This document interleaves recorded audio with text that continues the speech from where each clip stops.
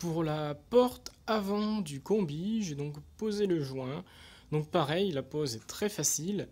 Euh, cette fois-ci, le joint n'est pas un carré comme pour la porte coulissante, mais c'est un long fil, une longue bande prémoulée, préformée à la porte, en sachant que pour vous repérer, il y a évidemment un endroit où il y a un angle, et l'autre angle évidemment côté supérieur, donc ça, ça va vous aider à savoir comment positionner votre joint.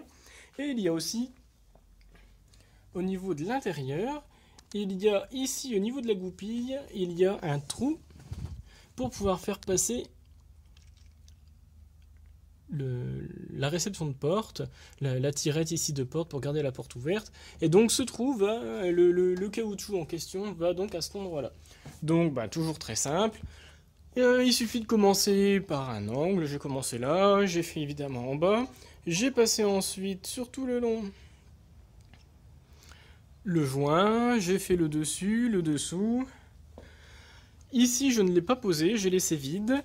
Et en bas, en fait, au niveau de l'angle, j'ai donc commencé là, remonté via euh, bon, un chasse-goupille. Moi, j'ai pris une longue vis et puis un marteau. J'ai tapé pour faire sauter cette goupille ici. En gardant la porte légèrement fermée pour que le bras ici soit un petit peu rentré. Ce qui m'a permis du coup de passer le joint autour. Ici, sachant que ce n'est pas collé ni maintenu, vous voyez, ça bouge. Donc, à voir dans le temps, je me demande si je ne poserais pas peut-être de la colle néoprène gel, euh, de la colle contact, pour garder en fait le joint bien collé contre la carrosserie. Voilà, donc tout ça, c'est pas collé. Et à partir d'ici, évidemment, comme il y a à nouveau la carrosserie, vous pouvez donc le rejoindre.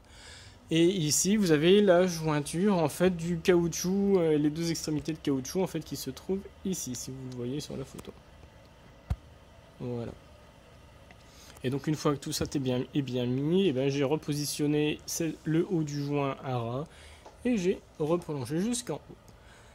Vérifiez bien qu'il n'y ait pas de, de petit accro de caoutchouc qui ne soit pas bien mis au niveau de la porte.